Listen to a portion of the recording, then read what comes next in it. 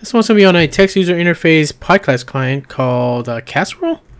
So let's fire it up here. And the program's pretty easy to use. You just hit H for help, and this will show you all the hotkeys that you need to know.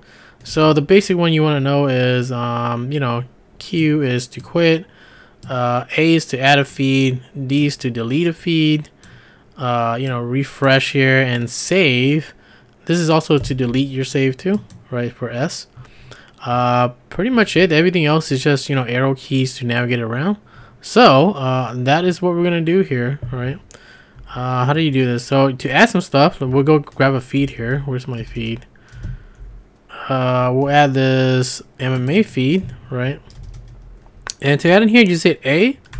And at the bottom here, it'll tell you to enter in your, um, what is that, your URL. So that's the URL we're going to use here. And you just hit enter. And there you go. We have the feed here, right? And if you want to listen to it, uh, which I don't know if I should, yeah, we'll do it. Why not? You just hit enter on it, and it should uh, play it. The following program is brought to you by Podcast One Sport. Uh, me muted, but you see it's playing. Uh, if you just want to stream it, you could do that. You know, you, you need to be connected to internet and all that. But if you want to like download it, just go on the episodes, and the way that you navigate between here is just your arrow keys, right? So left, right, left, right and up and down to um, you know uh, go to the uh, episode you want to listen to whatever right? So let's say for example I want to download uh, this for offline.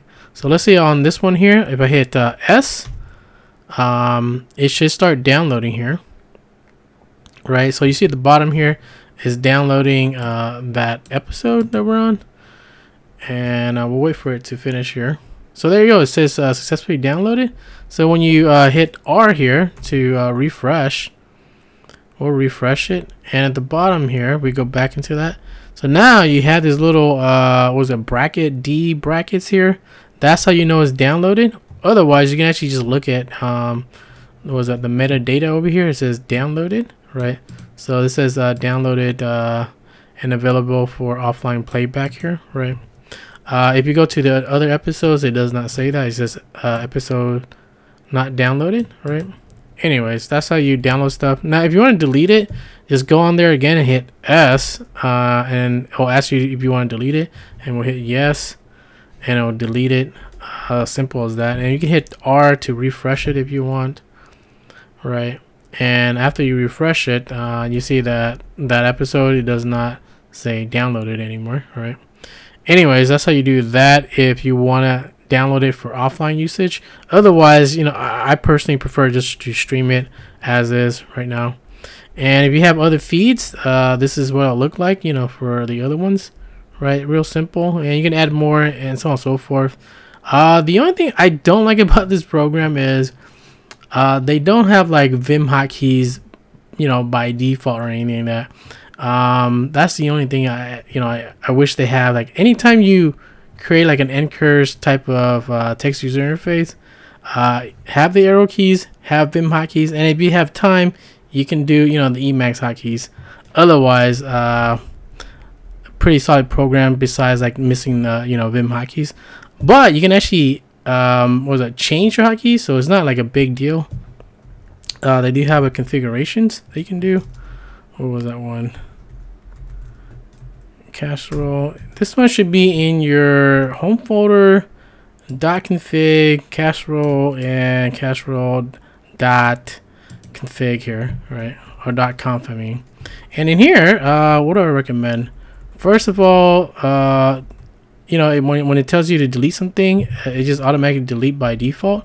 So I personally like to, to um, give me a confirmation before I delete something. So for example, if I want to delete something now, let's say this uh was that feed that we added earlier, right? If I want to delete it, it'll actually uh, you know ask you if you really want to delete or not at the bottom, and then you hit yes or Y I mean, and it'll delete it, right? So that's how you would set that up if you want to uh, you know give you a confirmation before you actually delete the feed. Otherwise, you might accidentally delete something that you don't want to. Anyways, that's it. So this one was it. It supports uh, MPV and VLC. Uh, I think by default it's just MPV, right? Uh, as far as the hotkeys and, and what was that? No, you can do uh, color settings. So if you want to change like some themes and stuff like that, you can do that here. But as far as the hotkeys, uh, you know, if you don't like the way it is, you can actually change it in here. So it's not a big deal if they don't have like Vim hotkeys by default. Uh, you can always change it. Anyways, that's it for the configurations. Um, pretty simple program. I like it. Um, I'll actually probably use this one now because uh, before I was using NVLC, and that one's not really good for managing uh, podcasts. But this one is really, uh, um, you know, a really good um, text user interface to handle all these podcasts that I listen to. Anyways, uh, check it out if you need a text user interface podcast client. That'll be for this one.